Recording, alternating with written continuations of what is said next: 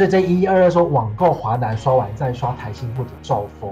对网购的部分呢，我们上个礼拜有分享那个爱网购生活卡，好，今年今天要再拿出来跟大家分享吗？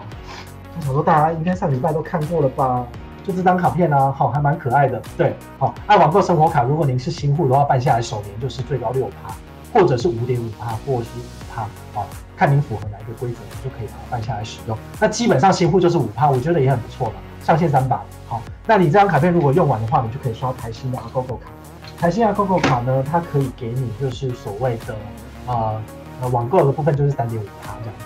那再来就是讲到说兆丰，兆丰一秒刷，如果您是今年的新户的话，网络购物国内的部分是三趴回馈，国外的部分一样是维持四趴，非常棒。